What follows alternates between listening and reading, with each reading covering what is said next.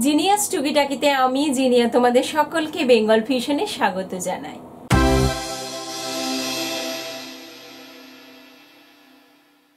ছোট্ট সমস্যা, ছোট্ট সমাধান।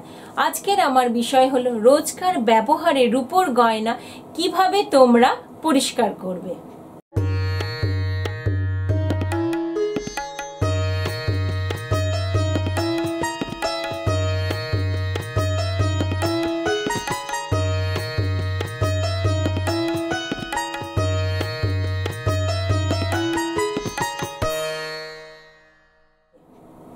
আমরা রোজই কিন্তু অনেকেই রূপোর গয়না পরে থাকি সব সময় ব্যবহারের জন্য পরে থাকি।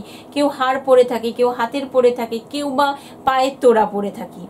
যে যেটাই পরো না কেন, দেখবে কীরকম একটা ময়লা ধরে যায়, রূপোর গয়না একটু কালচে হয়ে যায়। আর সব সময় তো দোকানে নিয়ে গিয়ে সেগুলো পরিষ্কার করা যায় না, তাহলে কি করব?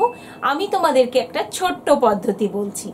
পদ্ধতিটা হলো রোজই আমাদের ভাত রান্না হয় তারপর তো সেই ফ্যানটা বলো, মাঠটা বলো, যেটাই বলো না কেন, ফেলে দিই।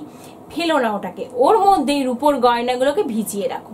আধ ঘণ্টা থেকে এক ঘণ্টা ভিজিয়ে রাখো। তারপর তুলে নিয়ে ঠান্ডা জলে ধুয়ে নাও। দেখো তোমার রূপোর গয়না কীরকম পরিষ্কার হয়ে যাচ্ছে। একদম নতুনের মতো না হলেও কিছুটা যেন পরিষ্কার হচ্ছে। যদি ভালো লেগে থাকে তোমাদের এই পর্বটা, তাহলে তোমাদের গুরুত্বপূর্ণ মতামত জানিও, বন্ধুদের মধ্যে শেয়ার করো সাবস্ক্রাইব করতে একদম ভুল করো না, অপেক্ষা করো পরের আর একটা গুরুত্বপূর্ণ টুকিটাকির জন্য। আজকে আমি জিনিয়া এখানেই শেষ করছি। নমস্কার।